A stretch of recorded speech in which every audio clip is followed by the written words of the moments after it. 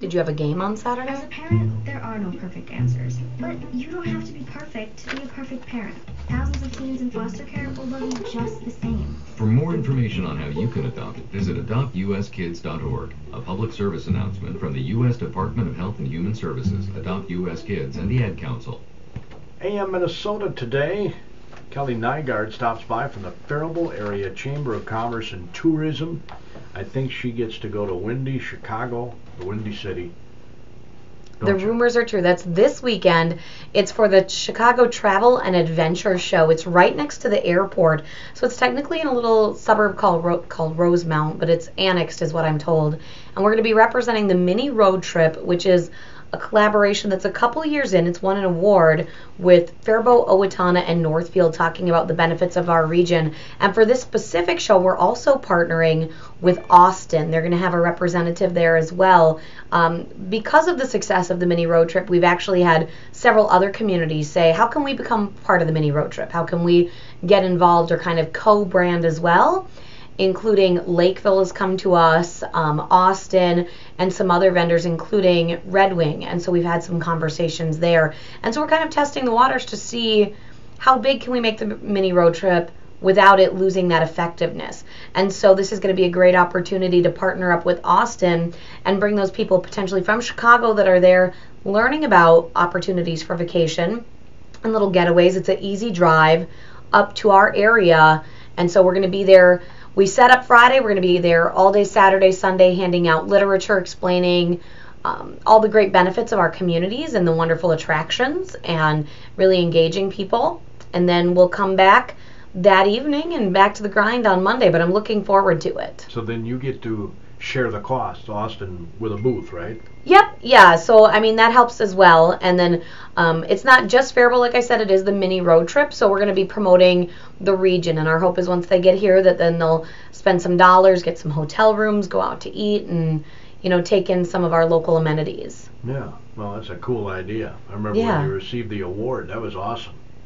Not every day of the week you get an award, you know. No, from Explore Minnesota, nonetheless. So it's it's been a really good campaign, and we're excited to see its continued growth um, because regionally we do have a lot to offer, and so it's a really nice partnership.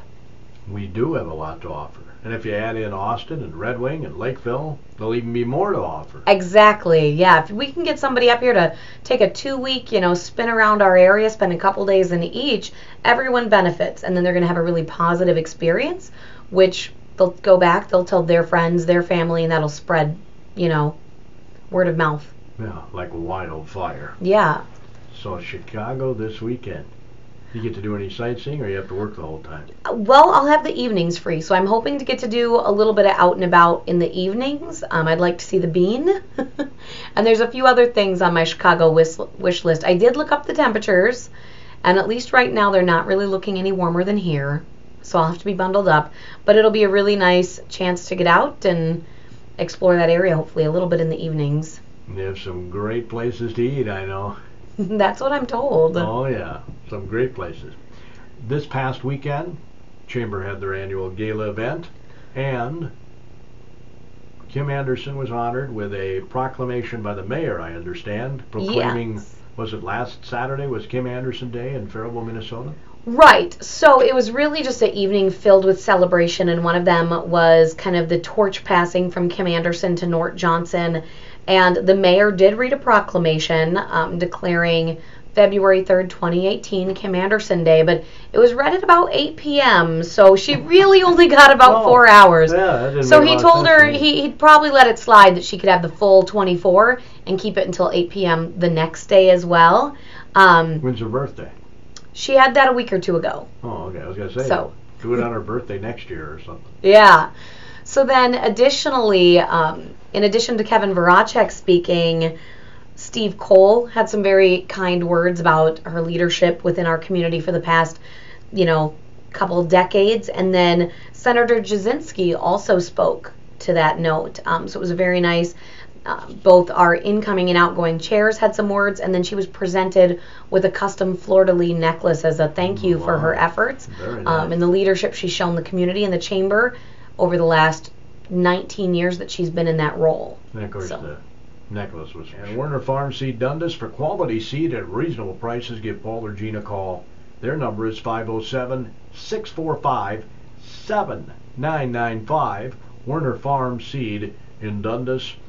Other KDHL Agro Boosters include Bart Jackson Insurance Agency, Downtown Faribault, and Agro Connor Crop Management Specialist, your pioneer sales representative in the Faribault area. By the way, tomorrow's AM Minnesota show, I'm going to have to be on my very best behavior. Who the do you have? mayor, Kevin Voracek, will be here, and our city administrator, Tim Murray, will be in the studio. So. you What's know, the topic I- of I don't want conversation? to end up in the clinker. Well, various city issues, Okay. you know. They're coming to my office today. Wow. Uh, we've got this beautiful conference room that they've requested um, because Highway 60 is going to be seeing some renovations in the next year, and they're doing an open house this evening, 4 to 7, where the public can come and give some feedback, look at the plans, and get a better understanding of what they're going to be seeing in 2019. Yeah, they did one for another project here last week, wasn't it? I think so. I didn't make it to that one. Yeah. Anyway, so the hours there are what?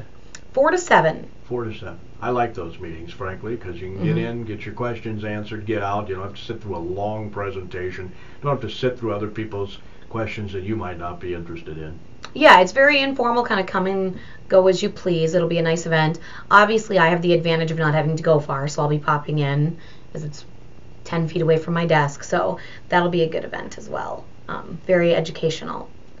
Um, the gala we were talking about before, I also want to mention that Gary Lazarez was honored with Ambassador of the Year following years of dedicated service, but he, he decided it was time to retire his green jacket um, and take a step back. We do have some other new ambassadors, and he's still kind of available as a little bit of a mentor. Just this morning at Business Before Hours, he kind of coached an ambassador through part of hosting that program, but we honored him with Ambassador of the Year as an award. Um, and we also gave an overview of the 2017 accomplishments that came from Nate Shapee of Shapee Jewelers.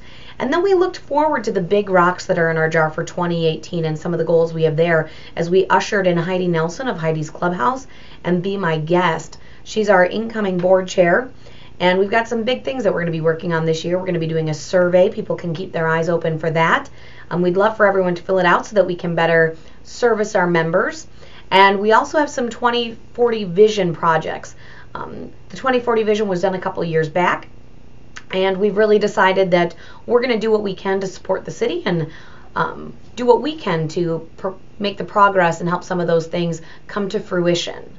And so there's a dedicated task force within the chamber that's been meeting, and they're going to grab onto some really good projects and dig into that. And so we kind of brushed over those briefly as well at the gala. It was a really nice event, great attendance. Of course, KDHL Power 96 did have representation there as well, which was fun to see. Jerry Grosskreutz was there, looking spiffy. With his lovely bride, yes. Yes. So it was it was a nice evening. Jive and Ivan and the Kings of Swing played. Did Jerry dance? You know, I did not see him on the dance floor. You'll have to you'll have to bust his chops about that.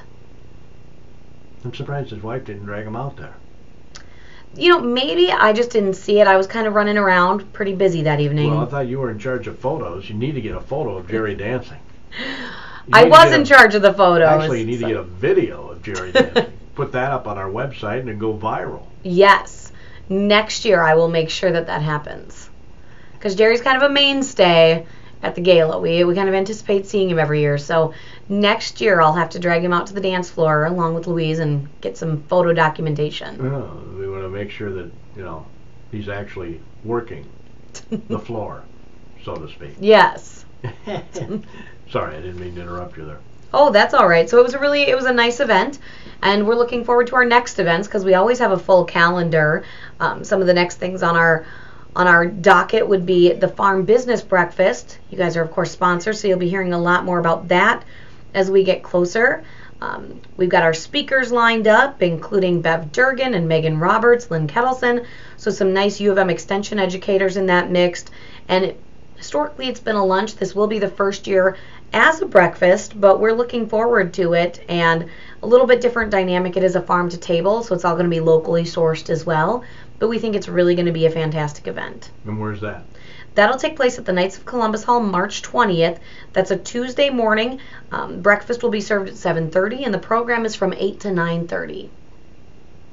Cool.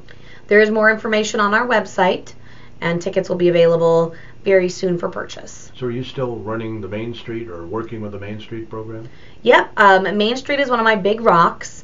Um, the development of our downtown and the events that do that, and so it's a multifaceted program. It's a four pillar approach, and one of them is promotions, and we also have the fundraising component. And we've combined those two things for our annual Faribault Flannel Formal. We've set the date for March 24th for that. That's a lot of fun, and we're looking forward to that. We additionally have design committee, um, economic redevelopment, org, and last year some of our big things that we accomplished in the last year was the small business challenge which launched Rough Acres and was able to help them. And we're hoping to do one of those again in the future because really coming off the success of that one, we'd love to see more storefronts. Um, but we work with a lot of different aspects. Our design committee worked very diligently on a banner project and some benches, some parking lot signage, and you'll be seeing those changes in our downtown getting a little bit of a you know, some additional perks as we install those in the coming months. Probably by midsummer, we're hoping to have 20 benches that tell the story of Faribault and different little historic components, um, parking lot signage that'll be more clear and draw the eye, wayfinding signage, and then that banner project. By midsummer. That's the hope. You know, obviously, there's the manufacturing, the hanging process. There's still some steps to go through, but the majority of the work is done and in place, and we're ready to roll it out. It's just buttoning up a, a few things. So we're really looking forward to getting those downtown and getting some visibility to that work. And the old banners just get tossed or what? You know, I'm not sure what the process with that is. Might be recycled. Yeah. Yeah. Um, I'm not really sure, but the new ones are going to kind of tell a story of Faribault. We've got different sections, and they're really beautiful with a new fleur de lis that's um, been designed specifically for Faribault. The banners are going to tell a story. Yeah, they're going to have sections, is my understanding. Um, it's going to be there's going to be a mill district, a Riverbend district, the historic downtown district, um, which will kind of help navigate people through that. Um, those will be throughout the community. And of course, we're in the KDHL district. Yes, It's our 70th birthday this year. it's a pretty big year. 70 years is a long time. And what is what celebration are you going to have? 70. 70 years. Well, I don't know. You're asking the wrong person there. but 70 years is pretty cool. That's a huge accomplishment. You know, 1948. That was 10 years before I was born. It's when they flipped on the, the station. 70 years is that's a so fantastic. Yeah, I think it's pretty cool. So anyway, didn't mean to. I'd love to see you guys celebrating your 70th anniversary by joining us in the Parade of Lights next December. Ooh, that's a good idea. That'll be December 1st. Of course, Bruce Burkhartsmeyer was the honoree last year, um, and he went down. I don't know if you got to see his float. It was a custom designed boot that lit up. No, I heard about it though. It was pretty fantastic, and we're looking forward to it. We've already set the date for December 1st. Last year was a great time. We had 33 floats, and we'd love to see it grow even further. But KDHL should definitely get in there to celebrate 70 years. For a first year, 33 is very good. We were pretty happy with the turnout, and we got really lucky with the weather. It was still fairly warm, and we didn't have a lot of snow on the ground. So I think now that people have had that positive experience, they'll come back for future years. Well, even if it's chilly, I mean, we're Minnesotans, we can handle that. Just put on a few more clothes. last weekend's activities proved that all of the special events going on up in the cities and all the outdoor activities i think show that people are willing to go out for a fun event Yeah, well, and I get a lot of positive pub after the fact, though. really a lot of people were complaining about how cold it was. Can't change the weather In can only dress for it. They should never have another Super Bowl. you know, that's what people from Philadelphia and those places are saying. Some of them, Hmm. many of them. i thought they did a really great job of rolling out the red carpet and ho- hosting a wide variety of events and different things And they received a lot of compliments too, but it seems like, as always, the negatives seem to outweigh the positives. yeah I don't know why that is, but it's kind of tradition. i like to focus on the positive attributes Yeah, like our beautiful downtown, historic downtown Faribault. Yes, and I I love our downtown. Um, I'm very happy to get to continue the work that we do down there. Um, we've also got our car cruise series set for the summer, and we're working on some other fun projects as well. Um, that'll be the third Friday of every month this summer. We always have music. We've got some food options and a fantastic lineup of cars. So When's the first one? The first one will be in May, and let me just verify here. The date? Oh, you know, I don't have it in front of me, but it is the third Friday of May. So I want to think that fine. that puts it at like the 18th, if my memory serves correct. And we'll, of course, be promoting those on our website, throughout the community, and on our social media. Yeah, that's been growing by leaps and bounds. Yes, um, the last couple of years, our Car Club Showdown has brought in well over 200 vehicles. We've also been lucky enough to engage with groups like the U of M Solar Vehicle Club. They brought that down, and the U of M um, race car, the experimental race car, which has been a lot of fun to have those teams on hand for asking questions and engaging and just learning more. So we get everything from that to Model Ts, and it's been really a fun dynamic to watch that grow. Yeah. Was it back to the 50s? Is that the one up in the fairgrounds that has, you know, Yep, thousands of cars? yeah. Don't want to get that big. No, I don't think we'd have the capacity for that um, because we do love having it in our downtown. But, you know, the growth that we've seen has been a lot of fun. And last year we had a few gals that took it upon themselves to kind of dress in a 1950s way, you know, the poodle skirts and that, which I thought was a great time as well. Yeah, I saw them down there. They were having fun. Yeah, it really kind of added to the dynamic. It certainly did. And it's good exercise too, walking up and down Central Avenue looking at all the vehicles. Yeah, and I think it brings in a lot of people to our community. We get a lot of really positive feedback that they enjoy the event, they enjoy seeing the vehicles, and a lot of them did not realize some of our store offerings or some of the great architecture we have as well. So while they might be coming for the car cruises, they might come back again to shop or dine or just enjoy our community another date. And Nort uh, gave me the honor one time of picking the best of, you know. Oh, did you? For show, so What do you use as your calibration to determine? a lot of pressure on yours truly. but it's a personal thing, you know. I Mhm. mean, what I think is great and what some other person thinks is great are two different things. Yeah, and it, it varies a lot, especially some people specifically like Camaros and others are looking for, you know, an original body Well, or, that's, that's you know, the, that's the route I go. As original as possible is the route I go. yeah. So where do you fall on the rat rods? Do you enjoy them? the rat rods. Yeah, they're kind of the rusted out, just very, Oh yeah. Well, I don't know. I don't know if I go quite that original. yeah. But um, I'm trying to remember the vehicle I picked now. And I can't off the top of my bald head. And you you have one of the shirts too, don't you? Oh, sure, yeah. It was very nice. Those are kind of fun little shirts. We get a lot of comments on them. Me- most definitely. Yep, I've worn it a few times here at work. Yeah. Makes me look like a mechanic. Anybody knows me knows I'm no mechanic. well, it's all in fun. It supports a good event. Yeah. Well, nowadays uh, you couldn't work on your own vehicles anyway. They're computers, basically. That's one of the joys of the older vehicles. Yeah. actually vehicles you could do your own car work on back in the day. Yeah. They're very simple. and the design components are just beautiful. You know, I love checking out. I, I wouldn't say I'm knowledgeable on cars, but I love the car cruises. It's just so fun, the energy of the event, but also seeing the range of vehicles, the bright colors, and the different design components are really interesting to see. Yeah, and good crowds. And I think adding the food component was Yeah. a big plus.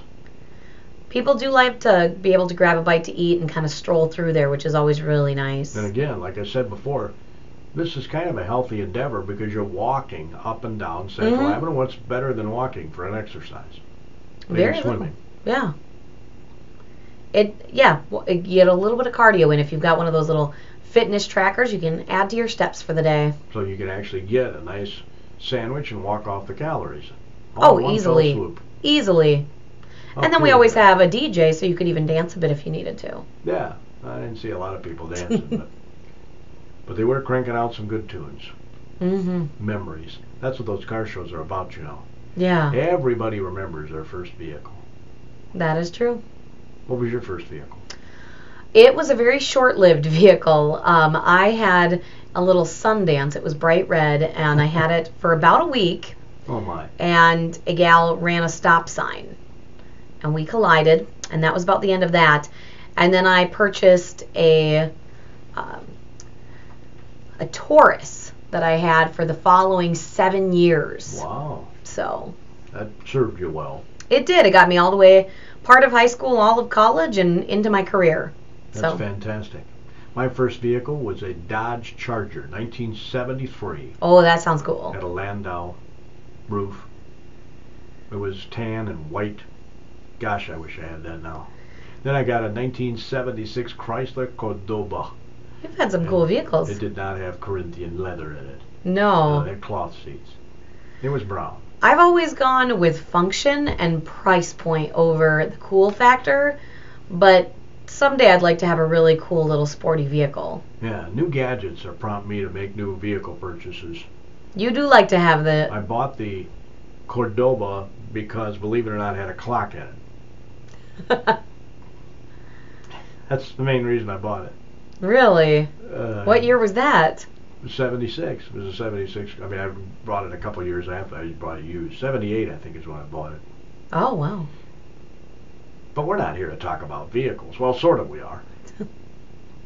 so this, um, the empty buildings downtown, the the what was the name of that again? The the, the contest that you had. for- Oh yeah, our our business challenge, the Main Street Business Challenge. It- Yeah. It's going to happen. We're going to have another one, you think? Well, at some point in the future, you know, we'd like to do it sooner rather than later because we did hear a lot of positive feedback, and I think it spurred some other innovation as well. We could only, you know, award one winner, but we have seen at least one of the other businesses awesome? open, which was great to see. And we've had a few other businesses recently open as well. Um, a couple new different businesses downtown where we've got a lot of potential for even more growth. So we've got some great architecture, some great spaces, and we're hoping to see a point where every building is full with thriving businesses and we're working daily to, to get there. So we're excited. And Main Street ourselves, we're going to be working a couple days downtown um, in the coming future. We've got a little second story space, which will be nice for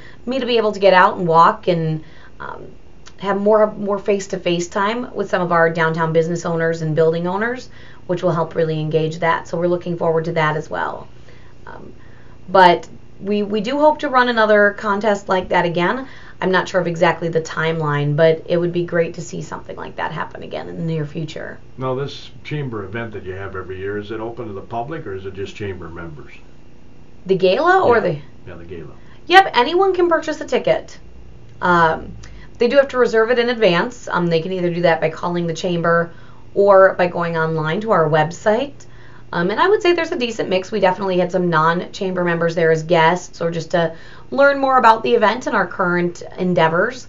But we do have a, a well, a good representation of our current members of the chamber as well. So we actually had about 320 people in attendance at the at the Legion on Saturday night, which was a pretty good turnout. Yeah. Is that typical? Is that about what it is? I would say, you know, it ebbs and flows a little bit, but I would say that that's definitely a good number, probably about average. And I don't know that we could have fit a whole lot more, maybe one or two more tables, but anything beyond that, we would have been at capacity, certainly. so then they had to move the tables for the dance floor? We had left a little bit of space. We would have definitely had to move them had we had any more tables, um, which is kind of why we left a little bit of a space there. So, and we did have quite a few people kicking up their heels and dancing, which was fun to see. Well, Jive and Ivan, the kings of swing, how can Yes. you not? I mean, at least have to tap your toes. Yeah, they always do such a fantastic job, and we were really pleased that they were able to come and perform. They sounded fantastic. They're fantastic. Now, I don't know if you know where the parking study is. They're still doing the parking study downtown, right? They are working on that. I am not up to date on that, but I do know that Nort sits actively in on that and um, has been going to those meetings and that they're progressing forward. But I'm not sure of what the current revelations are with that. Yeah. Well, next time we visit with Nort, we'll have to ask him about the parking study, Yeah. which is about, I think this is the fourth one since I've been here. There have been several, and there's a really great quote that I found that said, Anywhere worth being has some parking issues. Um, if you think about going up to the Xcel Energy Center, no one is expecting front door parking. They fully expect that they'll park half a block away in a parking ramp and walk. And we don't have ramps, but there are plenty of public parking spots. Um, I get that there are mobility issues, which is certainly a constraint for some. Um, but I, I personally try to park a little bit further away and leave those good spots for those that have a necessity for closer parking. Well, it's very nice Um, of you. So our parking situation is not perfect, but I think it showcases that the fact that there's a demand to be downtown. People want to be downtown. So it's there's a silver lining as well. Well, is that we've got good things going on to bring people to our community. Right. Last time Nort was on, I know he mentioned that he counted some spots around the Paradise when he was at an event there, Yeah. there were plenty of open parking spaces. And that was a sellout show, I believe, as Right. well. Yep. Yeah. So, you know, it depends if you're willing and able to walk a little bit. There there are usually spots within a reasonable distance. Yeah. I'm glad you pointed out that if you go to the cities, you have to walk a lot.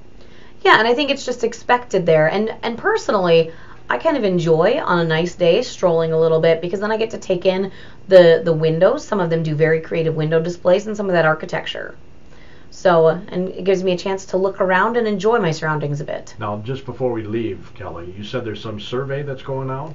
We are going to be doing a survey to our members, um, just asking a variety of questions about how we can better serve them and what they're looking for from the chamber so that we can really find out what the big rocks in our jar should be and kind of plan our future endeavors based on that and our resources accordingly. Okay. So this is not a community survey; it's a survey of. I do think it'll be members. extended to some non-members as well, um, but the focus is really going to be how we can best utilize our resources and engage the business community. Wow. You're getting a phone call. rang. They want to take the survey. You think so? Maybe. I don't have the questions handy. Yeah, we- we've only got about a minute left of the show. Is there anything we didn't touch on, Kelly, that we should have? But Um, you know, I want to thank Douglas Diamonds. Just this morning, we were there for our business before hours, which is always a great event. And I'd also like to let people know that coming up next week on the 15th, we're going to be at the Cheese Cave and Bluebird Cakery for business after hours, which is a great networking opportunity. And we'd encourage everyone to come. You can learn a little bit more about the chamber and what we do at those events, and it's a great first meeting to come to. So I'd like to get some food there too. Maybe some cheese curds. probably. Ah, You like the fresh cheese curds, right? yeah, I like them squeaky, and you know, I don't like them. I mean, I like them fried, but I prefer them raw. And they do a great job with that. I love the Cheese Cave. Yeah.